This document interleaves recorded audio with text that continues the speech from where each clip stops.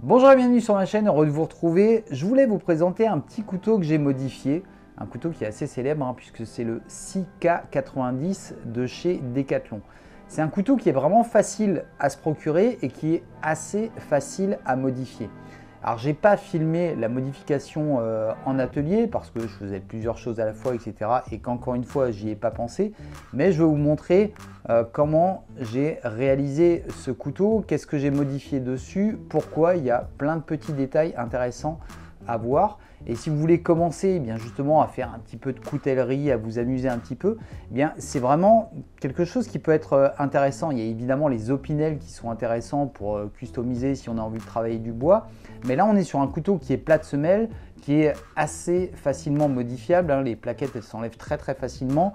Euh, on trouve un morceau de bois, on bricole un petit peu, on arrive à se faire un couteau euh, de ce type qui aura un look vraiment euh, différent, spécifique, avec, vous allez voir, des petits détails qui sont intéressants.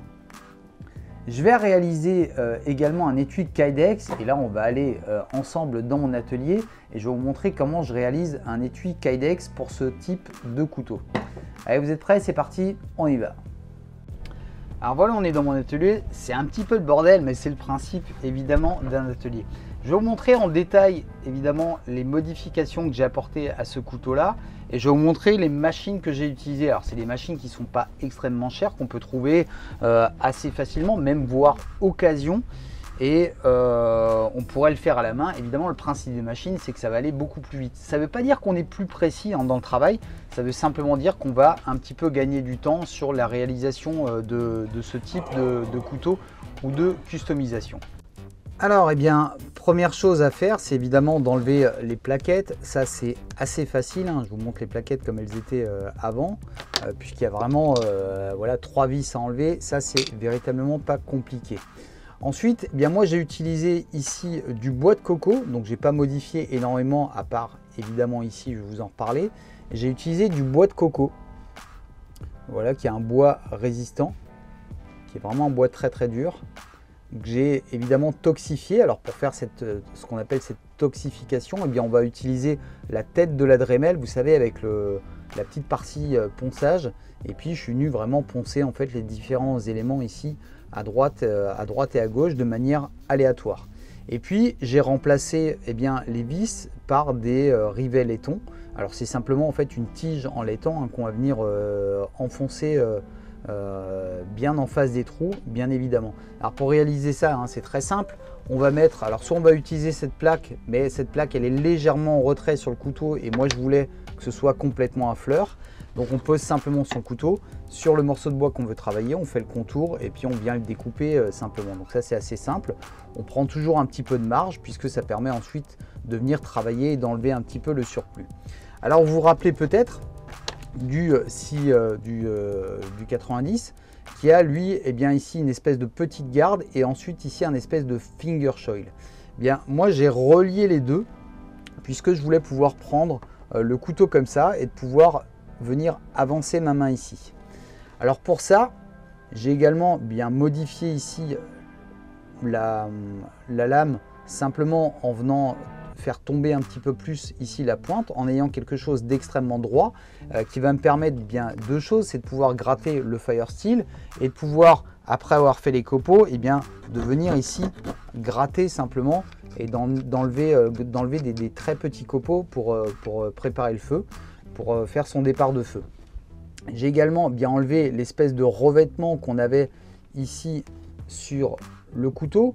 Alors j'aurais pu poncer encore un peu plus hein, parce qu'on voit légèrement encore le Made in China ici, on voit le 5CR15 de ce côté-là, mais c'est pas bien gênant puisque ça va être un couteau qui va être dans les bois. Et c'est pareil, je me suis pas amusé à faire une finition miroir qui n'aurait servi à rien puisque au final euh, c'est un couteau qui va aller euh, vraiment dans les bois. Je n'ai pas enlevé ici le coating parce que je n'ai pas modifié le tranchant. J'ai préféré garder ce petit tranchant en V pour deux raisons. La première, c'est que si ce couteau eh va arriver dans les mains d'un novice, ce sera plus facile, je pense, pour lui de venir euh, aiguiser un couteau comme ça avec un petit tranchant en V. Ça, c'est la première des choses. Et puis, deuxièmement, on n'est pas sur un acier qui est extrêmement dur. Ça, on le sait. Hein, c'est un, un acier où c'est justement intéressant d'avoir un petit tranchant en V puisqu'on va avoir un peu plus de matière et un petit peu plus de résistance. ici, bien, vous voyez que les plaquettes en bois sont aussi un peu plus larges en bas qu'en haut. Hein, donc j'ai voulu faire un, système de ce type-là pour pouvoir bien le tenir assez facilement de cette manière-là. Voilà. Ensuite, bien évidemment, je vais pouvoir positionner ma main ici et je vais pouvoir venir poser ici ma main sur cette partie-là entre la partie plate que j'ai refaite et ici les petits crans. Et cette partie-là, un petit peu comme sur le line steel, j'ai fait quelque chose qui était un petit peu arrondi. Du coup, bien ça permet de positionner euh, son pouce dessus et de pas être euh, pas être gêné en fait de hein, si je pose mon pouce pardon ici eh bien je vais être euh, beaucoup moins à l'aise que sur quelque chose qui est arrondi et c'est ce que j'avais bien aimé sur le Lion Steel donc là eh bien ça me permet vraiment de maintenir ici le couteau et de travailler voilà si j'ai si j'ai un petit bout de bois à travailler ici si je veux pousser avec un pouce ou l'autre eh bien je vais pouvoir facilement le faire sans me blesser le pouce puisque je serai sur une partie arrondie si je fais pareil ici Bon, ça sera un peu. ouais, bah non, ça fait mal, hein, forcément. On voit tout de suite la trace ici. Alors que sur une partie arrondie comme ça, je pense que c'est vraiment intéressant d'avoir euh, un peu d'arrondi sur, euh, les couteaux. L'arrière, eh bien, j'ai rien modifié. J'ai gardé cette hauteur de, lame pour déjà pouvoir avoir tout de même eh bien, couteau qui va bien tenir dans la main. Si je le tiens comme ça, même si là j'ai beaucoup moins de matière, eh j'ai quand même de quoi le tenir euh, fermement si je veux vraiment faire euh, ici une coupe, euh, une coupe vraiment en force. Eh bien, j'ai vraiment de quoi, de quoi tenir correctement le, couteau. Et puis, autre chose, j'ai gardé cette partie arrière pour pouvoir évidemment venir. Alors évidemment, j'ai gardé le trou. Hein, euh, pouvoir venir faire une prise arrière. Même si c'est pas un très bon chopper, hein, puisqu'on est sur quelque chose qui est très très léger, eh voilà, pour enlever quelques petites, euh, branches, pour avoir euh, un petit peu d'inertie ici, eh bien ça me permet de le tenir assez facilement avec cette, cette largeur-là. Donc vous voyez ça, c'est pas très très compliqué à, à, changer. Je vais juste vous montrer un petit peu les machines. Alors pour que ce soit plus facile pour moi, je ne vais pas utiliser le micro, donc le son va légèrement changer, mais je pense que avec le Pocket, euh, le Pocket Osmo, on a quand même un, son qui est relativement bon pour ce que je vais vous montrer. Alors voilà, c'est une machine que tout le monde connaît, hein, qui est assez simple. Hein. vous voyez, c'est euh, des, pierres hein, qui tournent très très vite. Et là, ben, ça me permet de voilà simplement changer ici, de venir euh, de venir enlever de la matière. Alors quand je fais ça, j'enlève un peu de matière, je travaille un petit peu comme ça, et je retravaille à plat. Et à côté, j'ai un petit verre d'eau pour refroidir ici l'acier. Déjà un pour pas le détremper complètement. Bon, hein, il faut y aller quand même un peu plus, mais euh, déjà pour pas me cramer les doigts. Donc ça me permet voilà de faire de faire ce, d'enlever euh, d'enlever de la matière. Et idem pour cette partie-là, j'ai simplement utilisé ça ici et je suis venu euh, eh bien travailler en enlevant de la matière et pareil en le refroidissant de temps en temps. Ensuite, eh bien, j'utilise ce type de machine. Alors là, la marque, c'est Peugeot. Hop là, je fais tout tomber, évidemment, il y a un peu de marqueterie qui traîne. Euh, voilà, c'est une ponceuse à bande qui est assez intéressante hein, parce qu'on change la bande très très vite. Alors, il n'y a pas 10, 000 grains différents. Hein. On a du gros grain et du plus fin. Et puis sur le côté ici, on a une partie pour... Euh, pour pouvoir aplanir un petit peu euh, les, morceaux de bois. Et eh bien là c'est pareil, ça va me permettre de eh bien, euh, faire travailler un petit peu de la finition ou comme ici eh bien d'enlever d'abord avec du gros grain voilà en venant bien à plat parce qu'à l'arrière ici on a une partie plate et bien de venir enlever ici le coating et ensuite j'ai mis une bande un peu plus fine pour retravailler ça si je voulais avoir un tranchant pardon pas un tranchant mais un polissage miroir eh bien là par contre je, le referai à la main. Euh, ça veut dire que je positionne le couteau et puis je viens ici eh ben, poncer avec une cale. Et c'est assez long hein, parce que euh, bah, voilà forcément euh, tranchant miroir c'est un peu chiant à faire. Évidemment j'ai utilisé également une scie à ruban hein, qui se situe là une petite scie à ruban, il y en a une plus grosse, mais là voilà, c'est la petite scie à ruban qui va très très bien. Alors ça c'est aussi c'est des machines qu'on peut trouver occasion. Moi je l'avais acheté neuve, hein, ça vaut pas extrêmement cher. Après évidemment si on s'en sert c'est sympa, si on s'en sert pas, euh, si ça vous sert deux fois par an pour faire un, truc de une poignée de couteau, euh, c'est pas euh, c'est pas génial. Donc là j'ai utilisé, je vous le disais, du bois de coco, donc qui était qui était déjà la base. Attends, je vais essayer de vous montrer ce que c'est au départ parce que c'est assez intéressant. Voilà, c'est ça. Et ça, alors on le trouve peut-être évidemment plus facilement chez moi ici. Eh bien, c'est des tuiles. Vous voyez? Vous voyez le profil? Donc, eh bien, j'ai simplement travaillé, j'ai positionné le couteau ici. Et eh bien, j'ai fait, euh, fait le contour. Voilà. Et ce qui me permettait justement d'avoir eh bien directement eh bien quelque chose d'assez plat, même si je le retravaillais un petit peu ici, mais de pouvoir avoir eh bien, déjà une différence d'épaisseur. Donc déjà ça m'évite euh, ça m'évite du boulot. Et donc là il suffisait ensuite de venir eh bien euh, couper ici ces parties là, les, euh, les, euh, inserts en laiton et puis de venir ensuite les, euh, les, fixer et de venir les frapper. Et ensuite, ben voilà le coating hein, simplement à venir, travailler dessus. Ça c'est assez, assez simple à faire, je dirais.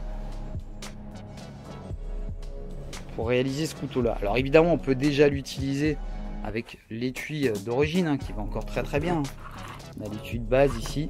Hop, on le met dedans, ça va bien, ça suffit.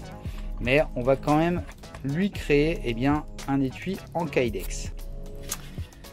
Alors pour réaliser mon Kydex, je vais avoir besoin de quelques petits trucs quand même. Du Kydex, alors des plaques comme ça, ça vaut pas très très cher. Hein. Là ça doit être une plaque qui doit faire euh, peut-être 20 par 30 je pense.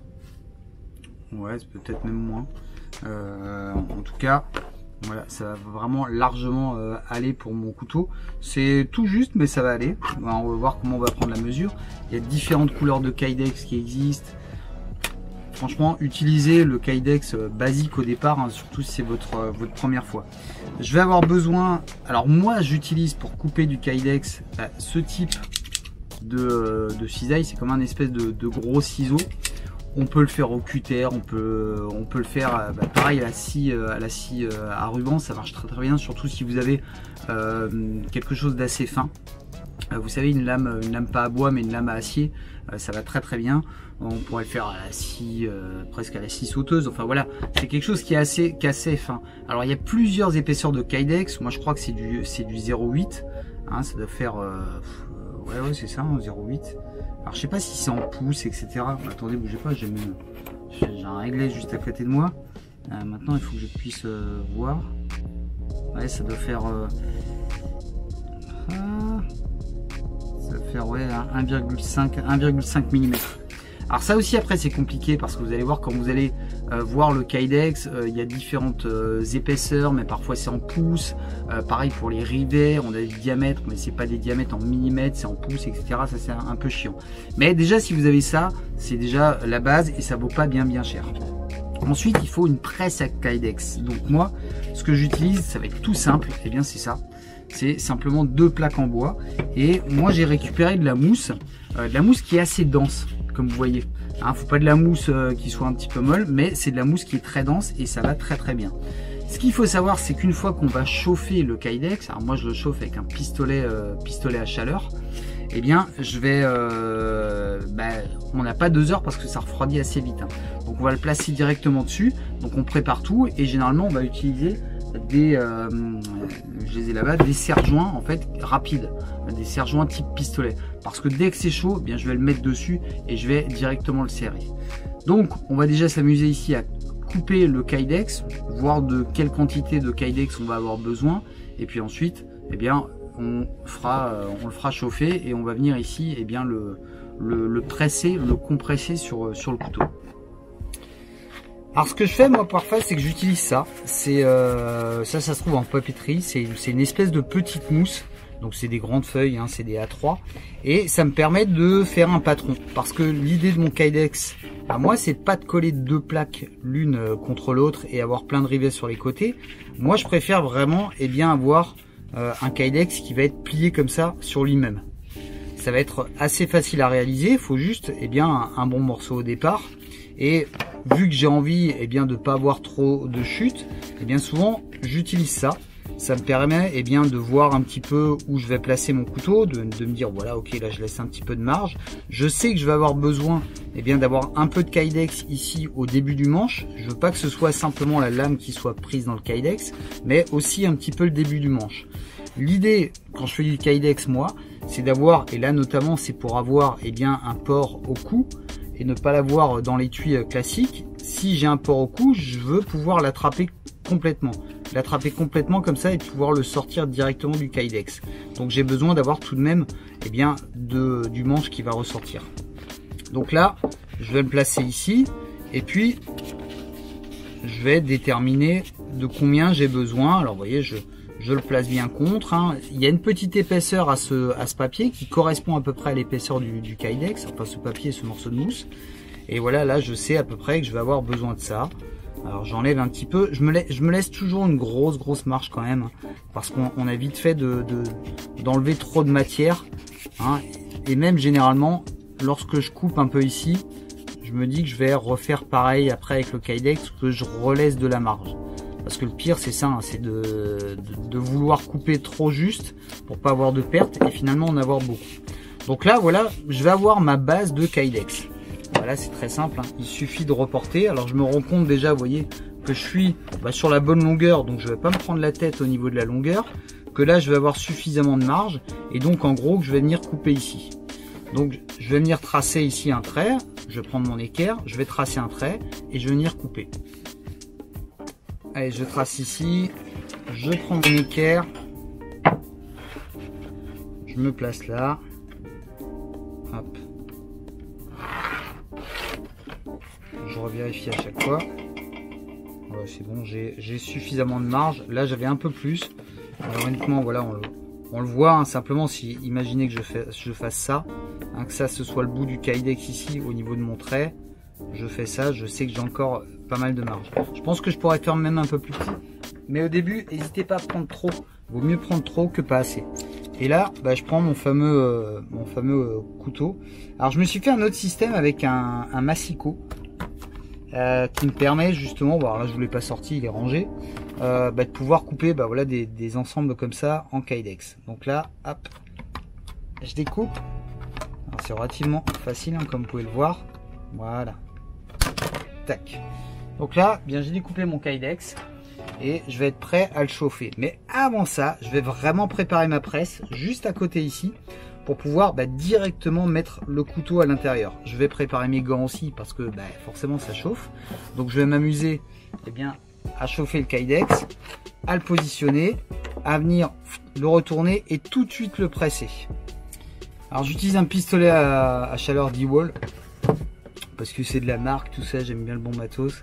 Euh, non, parce qu'il y avait que celui-là et je me suis dit, bon, mais comme j'en fais souvent, autant de m'acheter une bonne marque. Et puis en plus, c'est jaune, un petit peu comme les autres trucs, donc euh, ça marche bien ensemble. Donc, je prépare ici, eh bien, ma tablette. Je prépare, et alors ça c'est vachement important, c'est ce que je vous disais, euh, les, les fameux les fameux serre-joints rapides. Et ce qu'il faut faire directement, eh bien, c'est placer ici votre plaque. Hein, déjà vous dire, ok, je vais avoir ça, je vais avoir la deuxième mousse par-dessus. Je vais avoir ça. Là, honnêtement, euh, un pourrait, pourrait presque suffire. Et là, je prends tout de suite à peu près la, bonne taille. Attendez, je vous relève, excusez-moi. Voilà, je prends tout de suite eh bien, la, plus grande taille possible pour pouvoir eh bien, venir caler dessus et puis avoir à, le faire pendant à pomper pendant 10 fois. Donc je fais exactement pareil avec l'autre. Je vais quand même mettre deux serre-joints parce que l'idée c'est de le, serrer euh, le, plus puissamment possible pour vraiment écraser le kydex.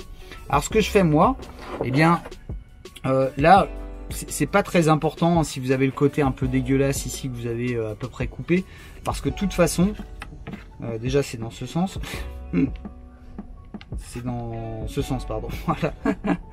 Euh, c'est que de toute façon, ça va être retravaillé ce côté-là. Donc là, je prépare tout ça ici, je le mets en face, je le mets là.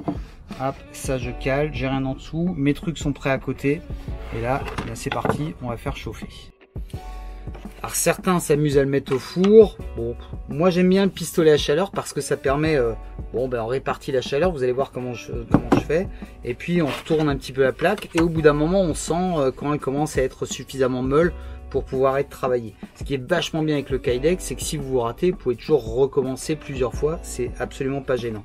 Je vous l'ai pas dit, mais il y a deux côtés au Kydex. Il y a une partie qui est très très lisse, hein, c'est celle qui va être en contact avec la lame, et de l'autre côté une partie qui est un peu plus euh, rugueuse, un petit peu comme une peau d'orange. Euh, donc c'est la partie évidemment extérieure. Allez, c'est parti.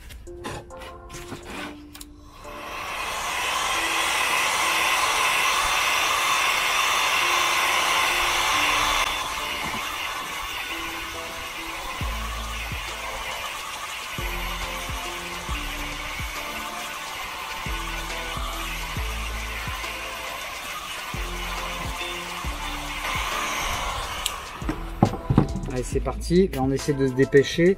Alors, j'ai fait chauffer un peu plus le centre ici au milieu parce que c'est l'endroit où ça va plier. Oh, c'est chaud, c'est chaud. J'essaie de voilà, d'être le plus droit possible. Bon, après, j'essaye bien de caler par contre le couteau, le dos de la lame euh, contre, contre le pli de mon Kydex. Voilà, j'essaie de rapprocher ça. Hop, ça y est, c'est bon.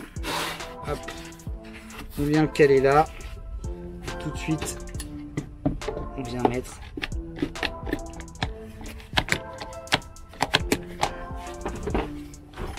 le serrer ici. Alors je vous montre rapidement parce que dans la précipitation j'ai fait une connerie mais c'est pas bien grave. C'est qu'en fait je vous le disais, là je l'avais mis vraiment contre ici. Sauf que je l'ai pas assez enfoncé. Enfin je l'avais bien enfoncé au départ mais j'ai décalé, j'avais le pied de l'atelier qui me gênait etc. Je vous parlais en même temps, je l'ai retiré et du coup il est sorti. Voilà. Il est sorti donc il est pas du tout pris ici. Donc là, eh bien, faut que je recommence l'opération, mais c'est pas bien grave encore une fois. Le pistolet à colle, c'est pas mal. Euh, le pistolet à colle, pardon. Le pistolet à chaleur, c'est pas mal. Euh, vous avez vu à peu près la distance avec laquelle je l'utilise. Faut pas aller trop près, sinon on va faire fondre euh, le plastique et on va avoir une texture qui sera un peu plus dégueulasse au-dessus. Hein, si on fait vraiment trop près, on va, brûler le truc et là c'est là c'est foutu. Donc là je recommence et je refais la...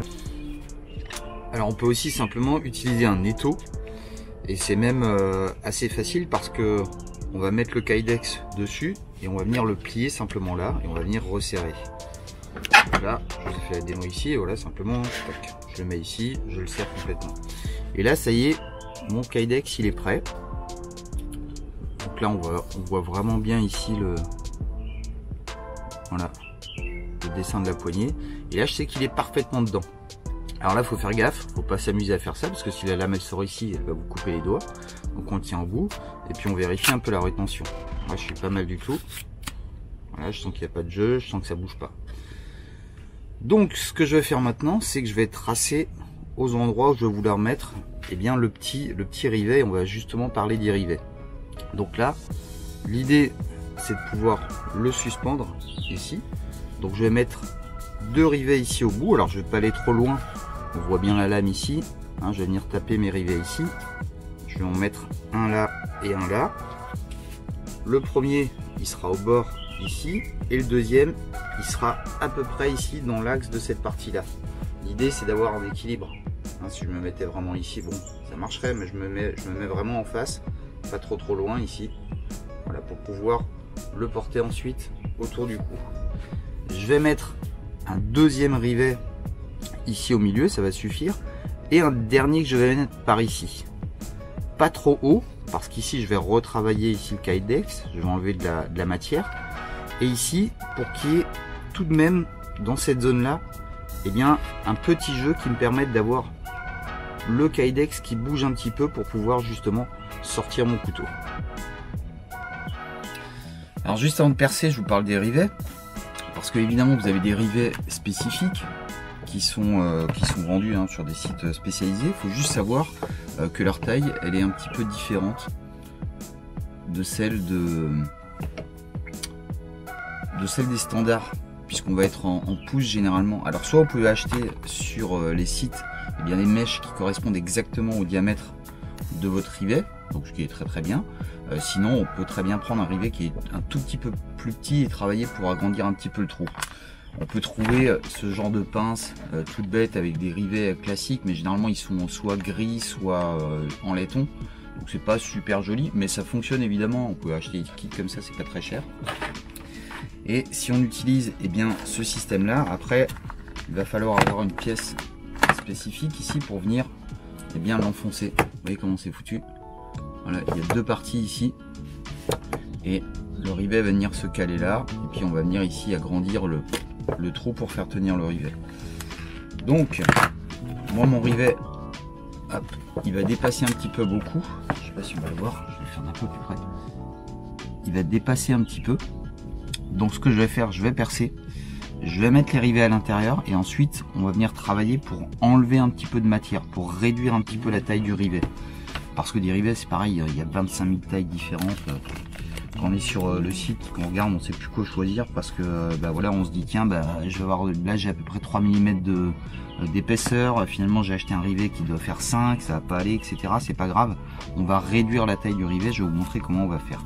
Donc là, première étape, bah, je vais simplement percer moi avec ça. Donc j'ai repéré avec de la craie, c'est le plus facile. Donc je vais percer mes 1, 2, 3, 4 trous et on va alors moi j'utilise la mèche qui va bien, sinon mèche acier, même mèche à bois ça passe, hein. c'est pas un matériau qui est très dur le, le Kydex. On peut le faire à la perceuse à colonne, ça va très bien si on le fait comme ça à la main aussi.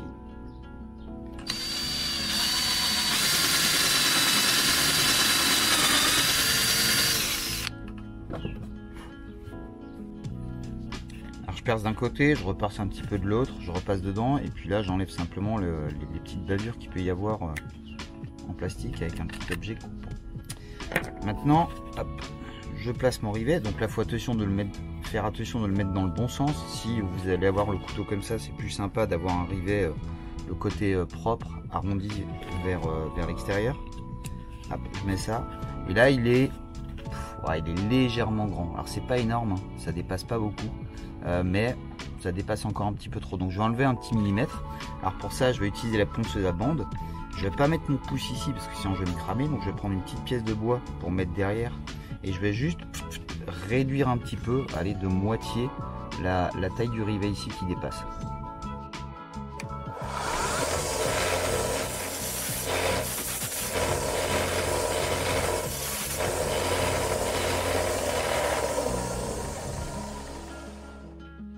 Voilà, donc j'ai réduit un tout petit peu la taille, euh, la taille du rivet. Alors évidemment, j'aurais pu la laisser si j'avais voulu insérer une autre pièce, par exemple. Hein, si vous vouliez euh, avoir un look un peu différent avec deux morceaux de kydex, hein, vous retravaillez un petit morceau de kydex comme ça que vous percez évidemment en repassant dans les trous. Et puis ça permet d'avoir euh, bah, un petit un petit kydex avec des, couleurs différentes. Là on va le faire simplement noir. Alors une fois que j'ai enlevé ça, bah, vous voyez par contre le laiton est toujours brillant puisque c'est de la peinture dessus. Donc ça c'est pas bien grave, hein. franchement ça va être... Euh, alors je le ferai pas sur d'autres euh, couteaux parce que voilà. Mais là on s'en fiche. On va l'écraser et si vraiment il reste on pourra toujours rajouter un peu de peinture dessus. Mais bon franchement c'est pas gênant, c'est à l'extérieur. Souvent on met de la paracorde etc. Donc ça ira très bien. Alors si jamais vous vous plantez avec un rivet, vous le mettez à l'envers etc. C'est pas bien grave, hein. on reperce et vous allez euh, finir par l'enlever facilement. Donc là on va voir comment le mettre. Alors, je, vais vous montrer un peu plus près ici. Tac, tac, tac. Voilà. Ici, on va se mettre dans les taux. On va mettre cette petite pièce là. Alors, il y a trois pièces qui sont spécifiques ici. C'est cela. Alors, la première ici, elle va avoir des diamètres différents. Parfois, on peut aussi avoir euh, ce genre de choses qui va être là pour accueillir la tête du rivet. Hein, pour pas le pour pas l'abîmer. Donc l'idée c'est que je mets ça là-dedans je mets mon truc ici à l'envers. Voilà. là, je vais venir écraser pour écarter le haut du rivet.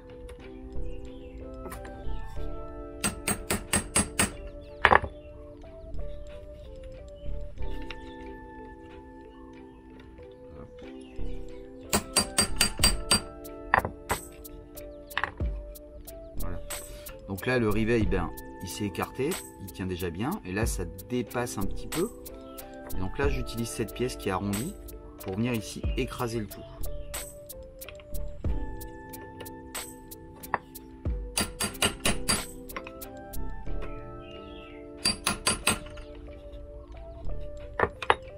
Vraiment je remets encore un petit coup à plat.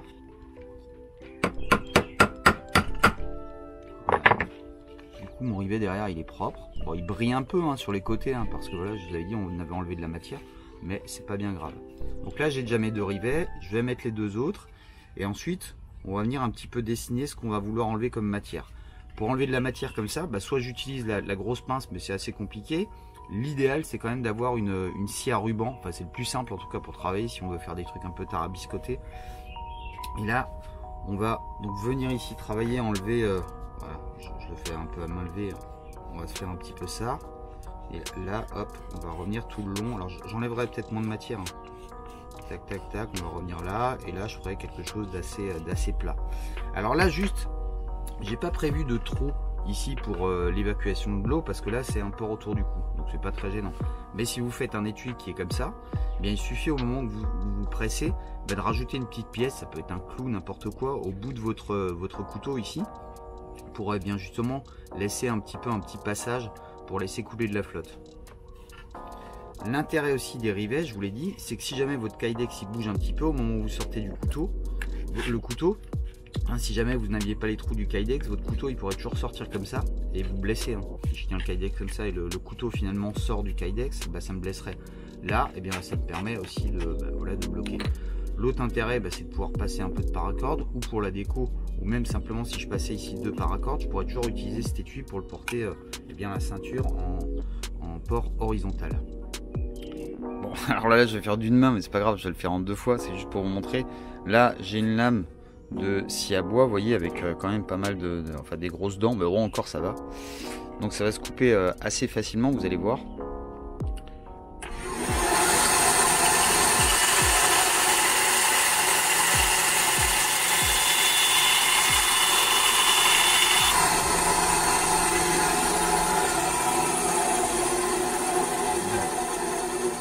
Nickel.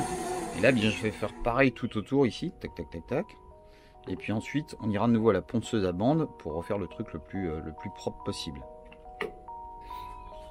Voilà. Donc là, je viens de venir travailler pour enlever euh, l'excédent, pour faire le plus, euh, le plus arrondi possible, le plus harmonieux possible. Et ici, ben, je vais travailler pour, pour agrandir un petit peu ça. Alors pour ça, la petite astuce sur cette machine-là, c'est que vous avez au-dessus une partie un petit peu arrondie donc là vous allez pouvoir travailler euh, comme ça justement. Je vais vous mettre ici. pouvoir faire euh, justement un petit peu euh, l'arrondi.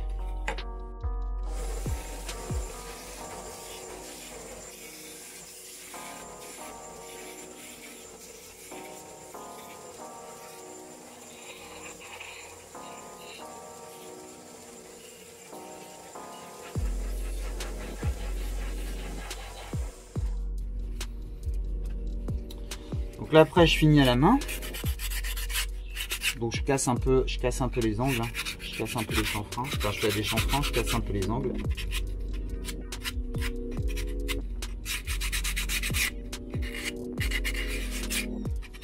Voilà. Donc là je suis pas mal du tout. Je sais pas si ça se voit. Faire le point. voilà. Là je suis pas mal du tout. Là il y a un truc qui est un petit peu écarté encore. Et ben là, il suffit de venir réchauffer un petit peu cet endroit-là et je vais revenir ici appuyer là. Il y en a qui mettent de la colle, mais franchement, ça sert à rien. Ça suffit largement. Alors dans, l'absolu, ça tient hein, puisque le, le Kydex va, pas se barrer. C'est juste vraiment euh, esthétique. Là-haut, bon bah la coupe a été pas mal déjà. Sinon, si vous étiez de travers au-dessus ici, bon bah c'est simple, on le remet, on remet simplement droit. Donc là, le Kydex, hop, il marche bien. Ici, ça écarte un petit peu ce que je vous avais dit. Voilà, ça écarte légèrement. Donc là, pas de souci, ça bouge, ça bouge absolument pas. Quelque chose de propre. Et là, ah, voilà, je peux retirer mon couteau facilement et le remettre dedans. Ça tient, ça tient parfaitement. Donc là, bah, je vais represser un petit peu ici pour être euh, le plus propre possible. Et puis après, eh bien, il va, suffire de rajouter évidemment de la paracorde là. Pourquoi pas ici? Alors là, on peut s'amuser eh bien, à faire à passer la paracorde ici, à faire un nœud, et puis à, faire une espèce de boucle autour pour que ça donne une petite zone ici de, de paracorde pour lui donner un look un petit peu plus, euh, un petit peu plus sympa. Alors pour finir, moi je le passe rapidement ici sur la machine à, polir. Ça me permet d'avoir vraiment une belle finition au niveau de la tranche. Est-ce que ça va se voir? Hop. Tac, normalement ça devrait à peu près se voir. Voilà, on a un truc un peu brillant, on a une, une finition qui est beaucoup plus sympa. Hop, voilà. Maintenant, je vais rajouter un peu de paracorde et puis on, va voir ce que ça donne une fois, euh, une fois terminé. Donc là, ça va être nickel. couteau, je peux la gripper euh, pleine main et l'utiliser directement. Hop, hop, c'est fait. bah voilà, couteau euh, terminé, étui euh, Kydex finalisé. Donc là, j'ai simplement mis la paracorde qui va servir port autour du cou, et eh bien euh, autour du couteau, hein, comme vous pouvez le voir ici. Hein, je suis passé euh, par derrière, j'ai refait quelques, quelques boucles et je suis venu euh, traverser tout ça. Donc évidemment, Alors je vous le disais, port autour du cou, moi ce que je fais souvent, c'est que je le mets sous l'aisselle finalement. Je le mets en bandoulière parce que ça me permet de l'attraper eh bien de la main gauche ou de la main droite. Donc là, bah, il n'est pas très très lourd ce couteau, hein, donc c'est intéressant de pouvoir effectivement l'utiliser comme ça. Et puis évidemment, on peut toujours l'utiliser si on veut le porter à la ceinture avec la, la pochette qui est là d'origine. Bon voilà, j'espère que cette petite, ce petit tuto vous a plu. Bon, ça mérite de. En tout cas, je sais qu'un pote, ça, va lui servir parce qu'il me pose souvent beaucoup de questions sur la réalisation des étuis euh, Kydex. Et puis voilà, c'est une bonne idée, je pense, si vous voulez commencer à bricoler, bah, de prendre des couteaux déjà existants.